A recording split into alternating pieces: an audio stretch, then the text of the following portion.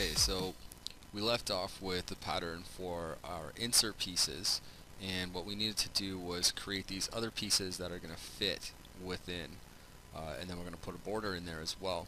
So depending on how you're going to create this, if you're going to do this as a 3D print, uh, you wouldn't really have to worry about what I'm going to do, but if you're creating something, say, to be created in a, a wood shop, then you have to look into essentially how are they going to create this thing.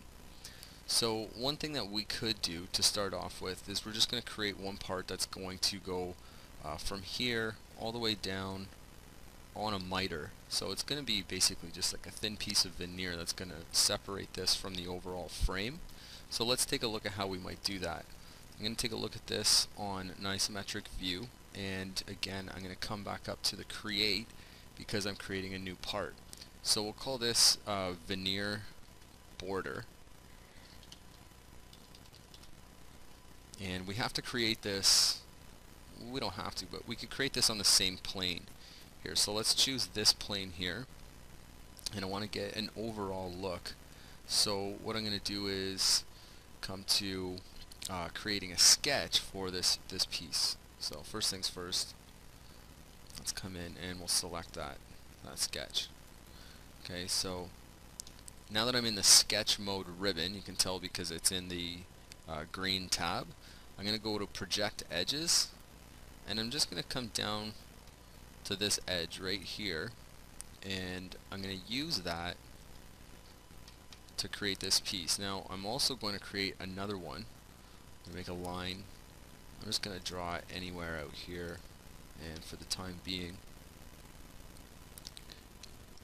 just leave it at that. So I want to dimension this these two lines they need to be a sixteenth of an inch. I keep putting that in as an eighth.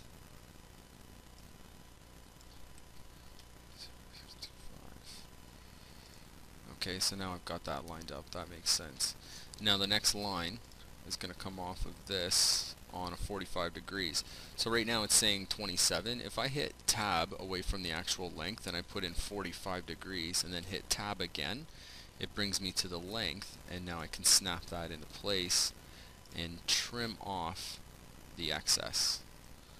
Okay, so now the next thing I'm going to do is do that same thing down here but I don't have anything to anchor it to so again project geometry. We'll grab this line here and I'll just start that line off the end of that and I can follow that plane and as you can see it's lining up with that other line. So instead I'll just hit OK and I'll come up to the extend and use that line that I've already got and now it's gonna go to that point. So they're they're closing up.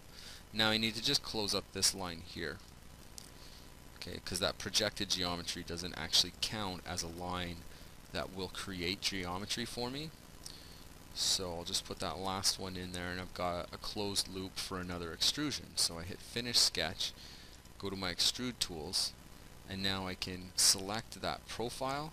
I'll switch it to the other side and I believe I made that depth a quarter inch. Now it looks like it made that as a surface.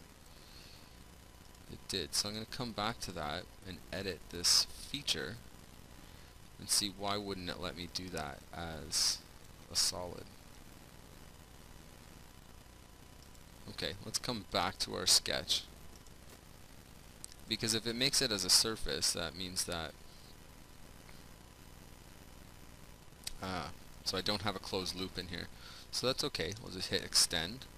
And now I should have a closed profile that I can use instead. So I'll just delete out that feature and instead of deleting the consume sketch, I'll uncheck that.